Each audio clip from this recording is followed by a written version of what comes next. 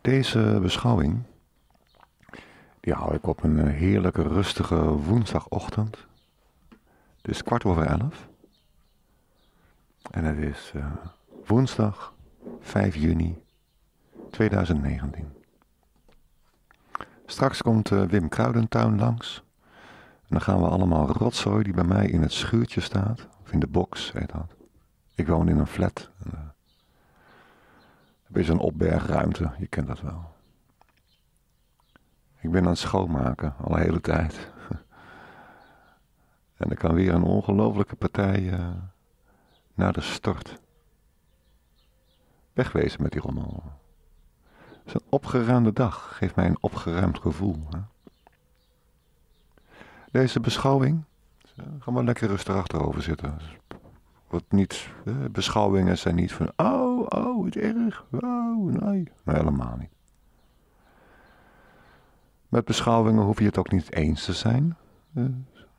je hoort mijn mening. En, uh, heb je zelf je eigen mening, mag ik aannemen.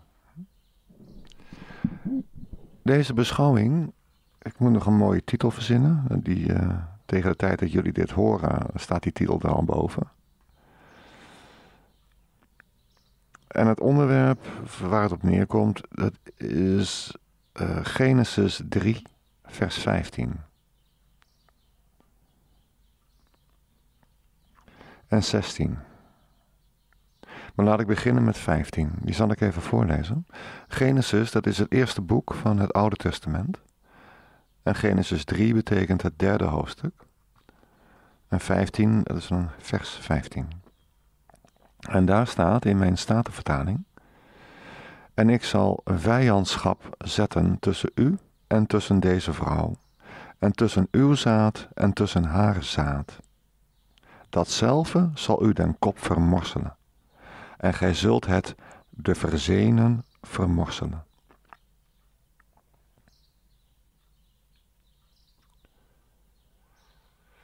Het is een uh, lastige. Het gaat over uh, de vijandschap tussen man en vrouw.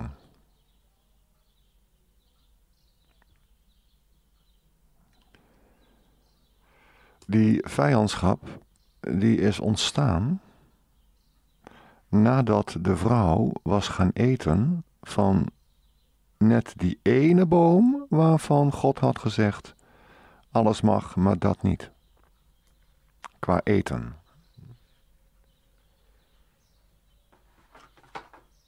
Ik leg mijn Bijbel even opzij. Kijk, vijandschap tussen man en vrouw is niet leuk. Uh, daar moet wat aan gebeuren. En, mm, nou, daar kunnen vrouwen wat aan doen en daar kunnen mannen wat aan doen.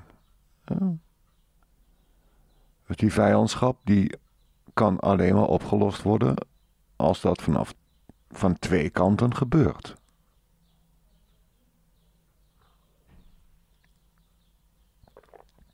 Nou, voor wat de man betreft, is dat hij moet werken aan zijn verstandigheid, zijn metafysica, zijn relatie met het onzichtbare. En dat kan je doen door uh, ja, metafysica te gaan studeren. of je leest je Bijbel. Uh, bekijk het maar.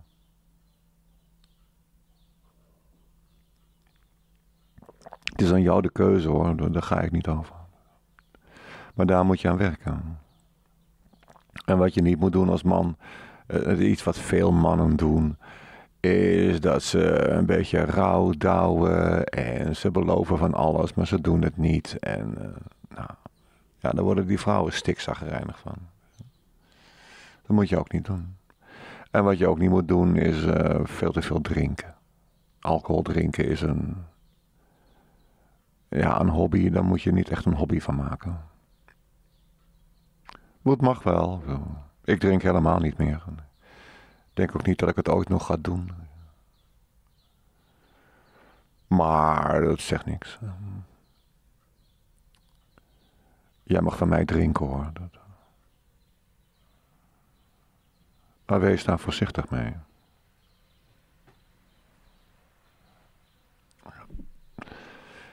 Als je verantwoordelijk bent voor een gezin.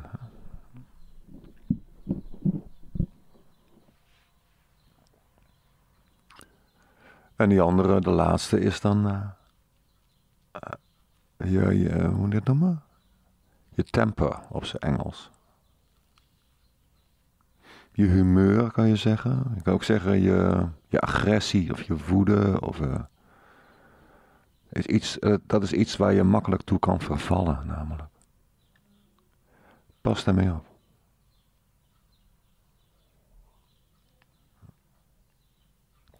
En duidelijk is dat je niet moet vreemd gaan. Want dat lost geen zak op. Dat maakt de dingen tussen jou en je partner verschrikkelijk ingewikkeld. Zelfs al doe je het stiekem. Want God ziet alles. Ja, dan begin je weer over God en uh, ja. Ja, geloof me nou maar. God ziet alles in de logische, heldere, ook bijbelse definitie van God.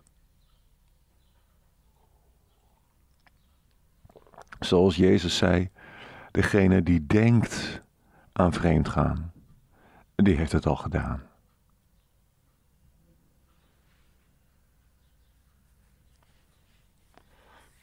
Erg belangrijk. Met andere woorden, hou je lul in je onderbroek. Ja.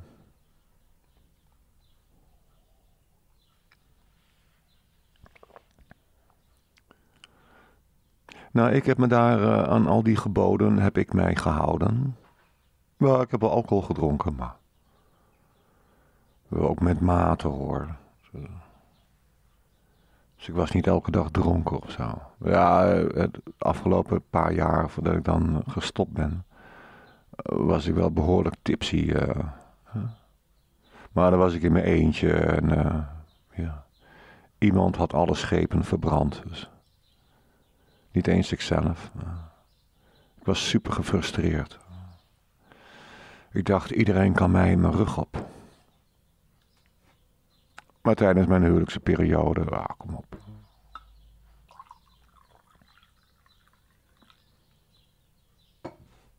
Ja, ik dronk elke dag. Ja. Haalde ik twee halve liters van dat lichte bier. Maar je gaat mij niet vertellen dat dat een probleem is.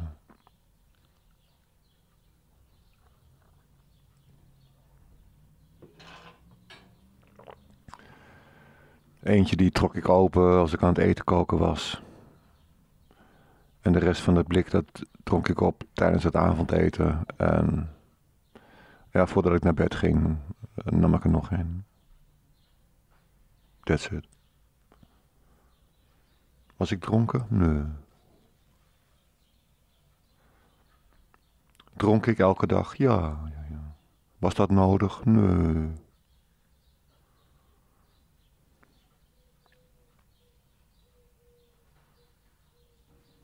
Maar het viel mensen wel op, dat wel.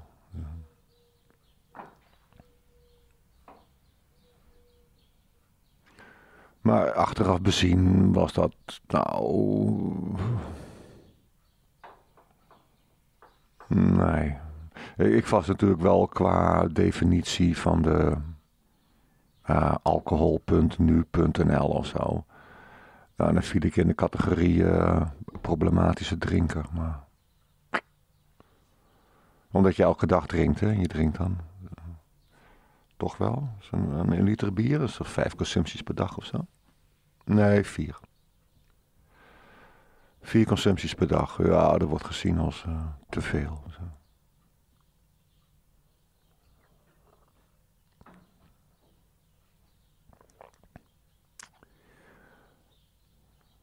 Ik weet niet of het daaraan lag hoor. Want, uh, dat huwelijk, dat waren zoveel dingen die de mist ingingen.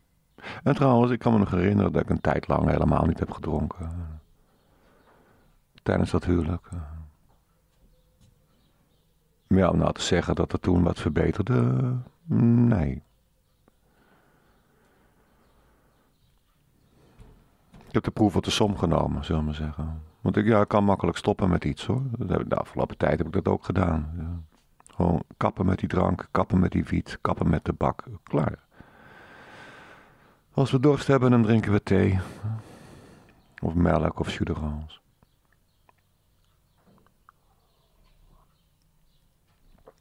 Ik bedenk me trouwens, ik moet zo dadelijk naar de markt.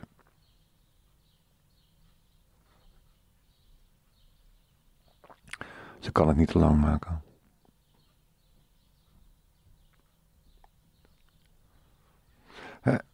die vriendinnen van mij, hè? ik heb dan vier serieuze relaties gehad. Ik ga het even over de andere kant hebben. Hè? En die eerste vriendin, die plaagde mij. Dus dan, ja, dan zei ze iets tegen mij en dan was ik helemaal verbaasd. Of ze deed iets en ik? En dan ging ze lachen. Dus ja, ik was je aan het plagen. Het irriteerde mij in hoge mate. En dan gaat het om hele kleine dingetjes. En daar wil je dan geen punt van maken. Maar ik vond dat niet leuk. Dat irriteerde mij. Niet dat ik het niet leuk vond, maar dat ze me plaagde. Ik doe dat niet, hè. Met andere mensen. Met mannen bijvoorbeeld niet. En vrouwen ook niet. Maar neem Wim Kruidentuin. Ik ga toch niet tegen Wim zeggen van... Hé hey Wim, wil je een biertje? Dan Wim zegt, oh ja, lekker. En ik zeg, haha, was een grapje. Nee, dan kijk Wim echt aan van... Uh, wordt hij hartstikke boos. Tuurlijk wordt hij dan boos.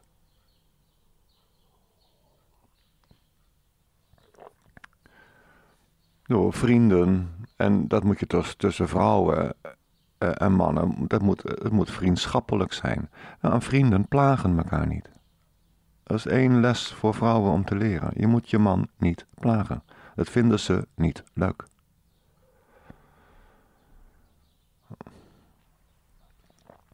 Nou, het andere wat die vriendin deed, die eerste vriendin van mij, is dat ze vreemd ging.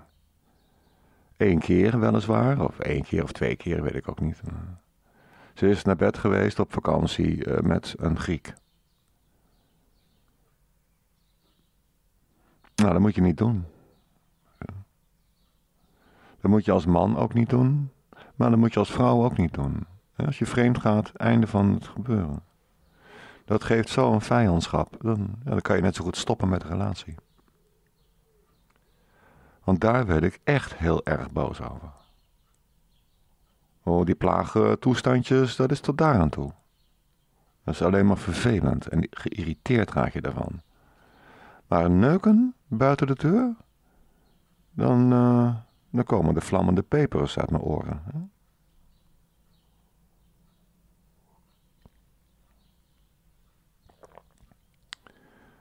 Nou, mijn tweede vriendin, die was heel erg bazig. Die ging de baas spelen over mij. Zo van, uh, wij hebben een relatie en ik wil dit en ik wil dat en ik wil zus en ik wil zo. En ik diende dan te komen opdraven en mijn agenda vrij te houden voor haar. Dat is de bedoeling niet.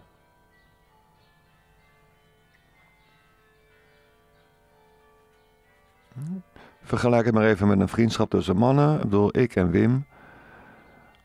Uh, Wim komt vanmiddag langs met zijn bus om die rotzooi in mijn uh, box uh, in te laden. En dan brengen we dat weg naar de stort. En ik heb voor Wim zijn website. Daar heb ik aan lopen bouwen. Ja, Wim zit niet te popelen om helemaal met de bus. Of helemaal, maar dan moet hij toch de deur uit. En dan moet hij die bus pakken. En dan moet hij naar mij rijden. En, het is allemaal wel gezellig en leuk. Maar dat doet hij niet voor de lol. En als Wim niet komt, ja, dan moet ik de gemeente bellen. En dat kost me 40 euro. Dus ik zou kunnen zeggen, Wim is verplicht om mij te komen helpen. Dat is hij ook op zekere hoogte. Maar hij is het niet verplicht aan mij. Wat is dat nou? Hij heeft een bus, dus, maar dat wil niet zeggen dat hij moet komen. Ook al is hij mijn vriend. Het gaat allemaal in uh, goed overleg. Maar toen ik dat tegen Wim zei, toen merkte ik al dat hij niet stond te popelen. Maar ik heb de laatste week, de laatste dagen, heb ik voor hem een aantal dingen klaargemaakt op zijn website. En hem netjes gemaild en dan doorgegeven en la. En gisteren tegen hem gezegd, ja Wim, wat ik vorige week aan je vroeg, ik vind het nou toch echt tijd. Ah, zei Wim, dan kom ik morgen wel. Dat is dus vandaag. Kijk, zo gaat het tussen vrienden. Hè? Ik kan niet zomaar aanspraak maken op Wim. Ben jij maf? Ik heb ook wel gehad dat ik een heel leuk idee had. Hé hey Wim, we gaan dit, dat, bla bla bla. Dat Wim tegen me zei, nou we gaan helemaal niks. Ja, hoezo niet? Nou zei hij, er is vanavond voetballen. Dus uh, Barcelona tegen uh, Milaan. Ja. Nou, zei hij, dat wil ik zien. Altijd als Barça moet spelen tegen die uh, pizzabakkers, dat, zie ik altijd. Ja, Wim is dan zo'n voetballiefhebber. Ja. Nou, dan gaat hij mooi niet mee. Nou, dan moest ik even flikken bij die vriendin van mij, die tweede. Dat ik zei, nee, ik ga vanavond repeteren met mijn vrienden in de band. We hebben een nieuw nummer, tenminste, Hans heeft een nieuw nummer en uh, dat heeft hij al gezegd. Hij heeft het een beetje laten horen en dan gaan we vanavond lekker aan werken met z'n allen. En dan was zij allemaal, ja, ja, ja, nou, en ik dacht dat wij vanavond samen, bep, bep, bep. En ik ga toch weg. Dat is niet leuk, snap je? Dat moet je niet doen bij je partner. En dan ging ze ook nog ruzie maken met uh, vrienden van mij.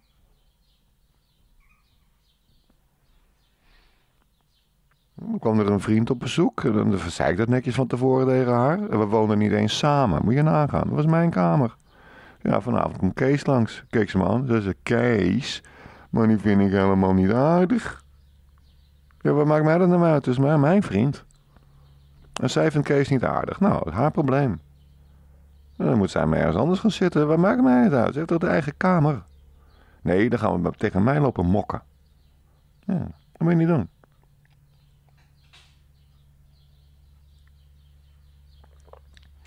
Maar toen kreeg ik een derde vriendin en dat die deed geen zak in huis. Dat is tot daar aan toe.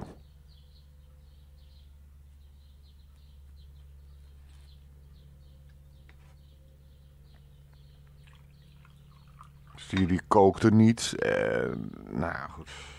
Schoonmaken. Nou, een beetje of zo. Nou, ze deden was dan. Maar goed. Oh ja, ze deden afwas. Maar voor de was en de afwas, ja, we hadden een wasmachine, we een wasdroger, we hadden een vaatwasser. En als een van die apparaten kapot was, ja, wie moest er dan zorgen dat het ding gerepareerd werd? Ja, uh, Perretje Winkeltje natuurlijk. Ja. En zij maar een beetje op de knoppen drukken. Zoveel werk was dat niet. En ik deed dan elke dag zorgen voor het warm eten. En zorgen dat er ontbijt was. En zorgen dat eh, alle boodschappen doen en zo. En planten verzorgen deed ik ook. Ja, dat is niet zo fijn, hè? Dat je zo'n partner hebt die uh, bijna niks doet. En dan uh, boos doen tegen mij. Hè? Dan moest zij de, de keuken schoonmaken nadat ik gekookt had. Hadden we gasten gehad, had ik wat bijzonders gemaakt. Ja, dan was het gas van smerig. En dan zei hij, ja nou, dan kan je niet een beetje netter koken, want nou moet ik het gas van schoonmaken. Kijk, dat helpt niet, eh, dames.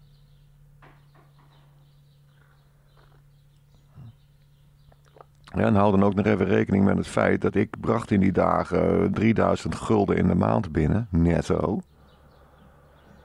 Plus, uh, ik had een auto van de zaak. Dus uh, vervoerskosten waren allemaal, uh, ja, dat, had ik ook allemaal gedekt. Ze hoefde nooit met de trein hoor, nooit met de fiets, ben jij maf.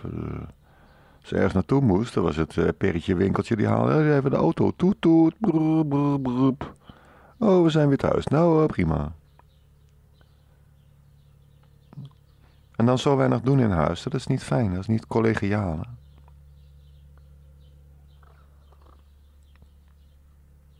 Nou, toen ging zij vreemd. Ja, toen had ik het echt gehad met die uh, vrouw. Na tien jaar, hè? Daar heb ik buikpijn van gehad, hoor. Zwaar buikpijn. Maar vreemd gaan moet je niet doen. En je moet wat doen in huis. Ja. Je moet samen zorgen voor iets. Erg belangrijk.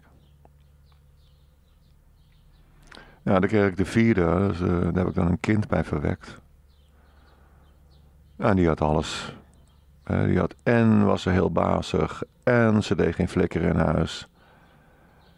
En ze zat me voor de gek te houden, dus plagen en alles. En... ook hele gemene dingen. Oh, oh, oh, oh, oh, oh, oh. En dan erbovenop nog een keer gaan neuken met uh, andere mannen. Of laten neuken.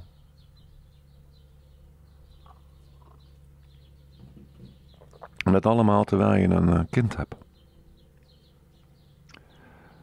Dus het rapportcijfer wat ik die vrouwen, uh, die vier op een rij geveegd, op een hoop geveegd moet ik zeggen.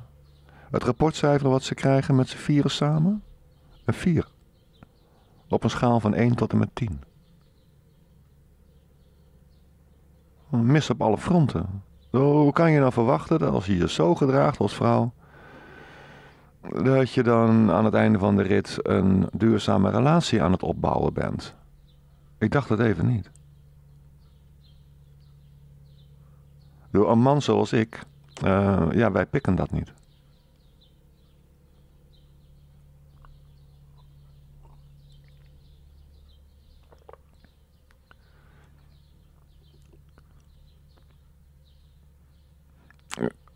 Hè, dus voor die mannen heb ik het net gezegd. Hè, je moet niet denken aan overspel. Laat staan het gaan plegen. Uh, je moet niet elke dag dronken thuiskomen. En uh, hou je agressie een beetje in de gaten, joker. Want ook alcohol is in deze niet een allerbeste raadgever. Hè? Daar kan je behoorlijk agressief van worden. Het heet de kwaaie dronk. Ik heb dat niet zo, maar... Ik weet niet hoe dat aan jouw kant van de lijn zit. Hou je rationaliteit in de gaten, blijf rustig, kom je afspraken na en lees je Bijbel. Of leer het met een grote letter H op een andere manier. Vind ik ook best.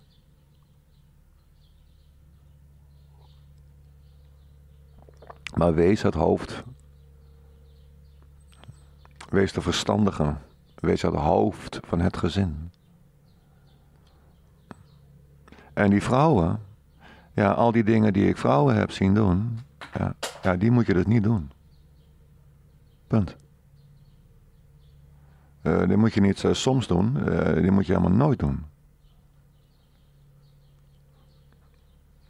Want anders gaat je relatie naar de gort. En dan kan je zeggen dat jou dat niks interesseert. Ja. Ja, dat kan.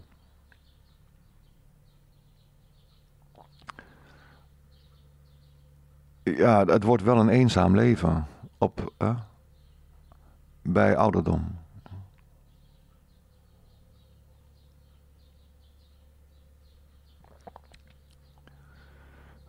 En wees een goede partner voor je man. En werk aan die relatie. Dan zal ik nu, zoals ik beloofd heb, uh, vers 16 even voorlezen. Daar staat: Tot de vrouw zeide hij: Ik zal zeer vermenigvuldigen uw smart, namelijk uw verdracht. Met smart zult gij kinderen baren, en tot uw man zal uw begeerte zijn. En hij zal over u heerschappij hebben is erg belangrijk.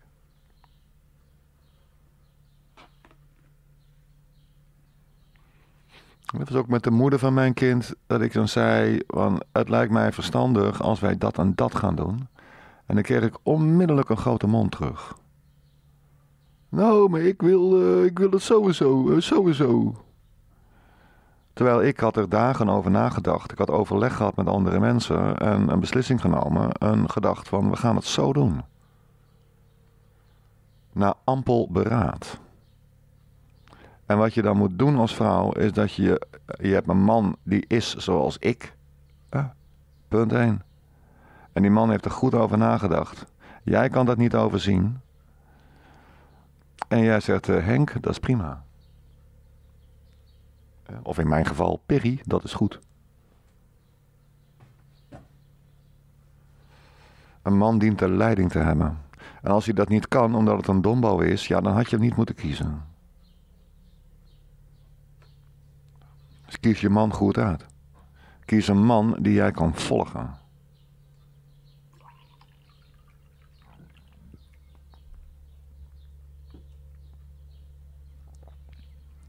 De man is de baas van het gezin en de vrouw is de baas van de kinderen.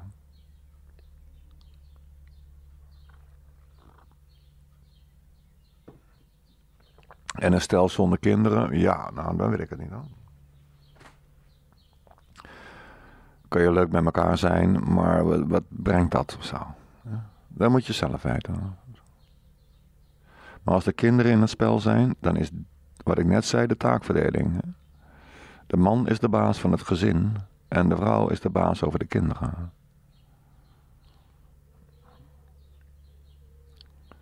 Ik ken een vrouw, een, christelijke vrouw, en die heeft een man getroffen. En dat is een eikeljongen. Oh, dat is een schijnchristen.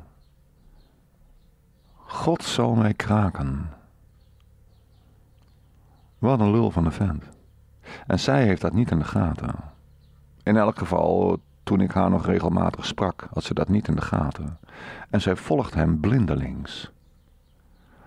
Oei, oei, oei.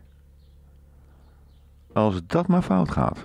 Uh, dat is een grapje, zeiden wij vroeger. Als dat maar goed gaat. Dat is gevaarlijke business.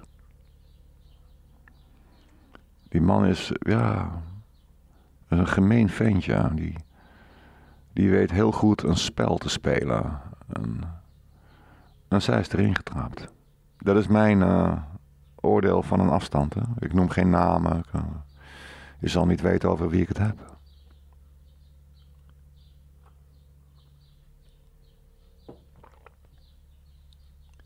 Maar heb je een man zoals ik, dan moet je je opstellen zoals die vrouw. Als je een man zegt van uh, dit gaat niet, dit gaan we niet doen. Dan kan je al teleurgesteld zijn.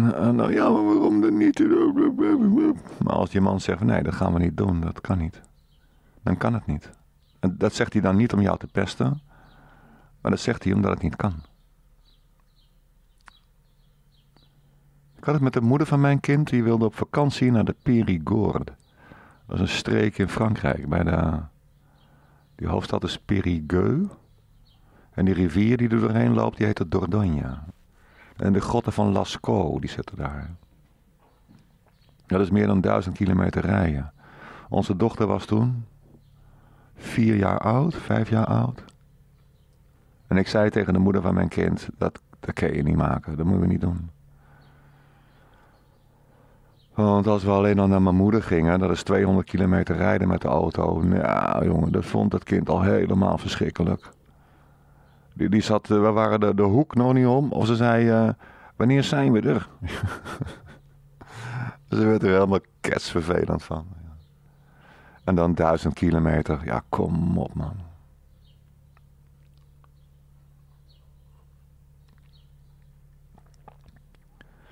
En zij de zin doordroegen. Ja, ja, ja, dat kan makkelijk. En ik heb gehoord dat... Nou, dat bleek helemaal geen bied van waar te zijn.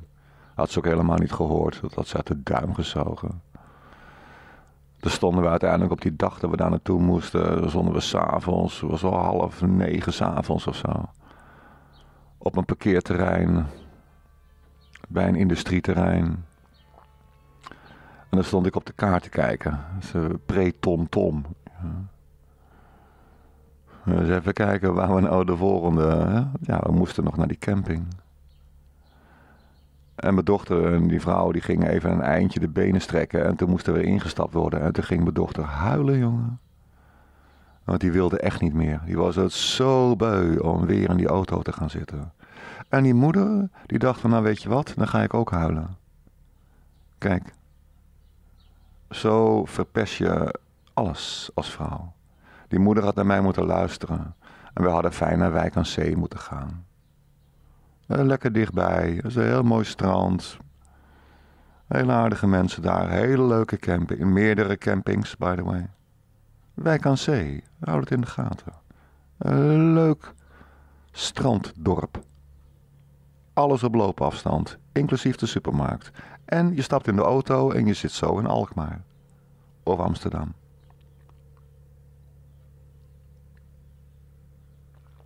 Heb je ook een heerlijke vakantie, snap je? Ja, dan moet je luisteren naar je man.